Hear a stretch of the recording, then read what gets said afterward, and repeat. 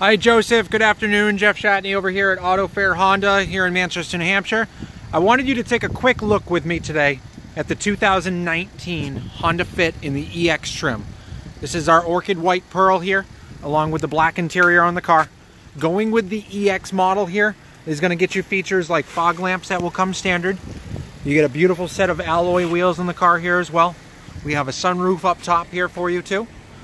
Honda Sensing, so this little window right here, along with the Honda emblem itself is a radar sensor in the front of the car. So you're going to get some features in the car that will help save you money on your car insurance, but also take some of the fatigue and put some safety back into your drive as well.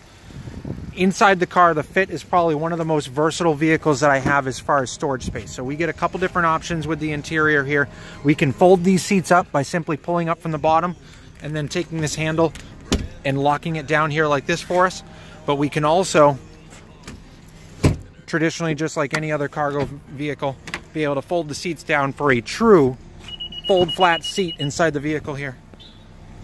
The headrest will simply pop down on the back here.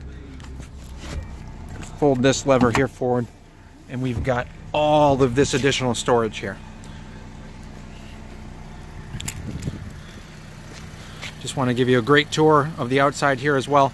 If you're using an Android device or an Apple iPhone in the car, you're also going to have features like Android Auto. So just simply plug right into the USB port down here in the bottom, and then you'll be able to take your Android or iPhone, plug it in here, and then get maps in the car, get your Siri, get OK Google in the car, have it make phone calls, send text messages, all kinds of options for you. You've got all your steering wheel controls here, automatic headlights, everything to go along with it too.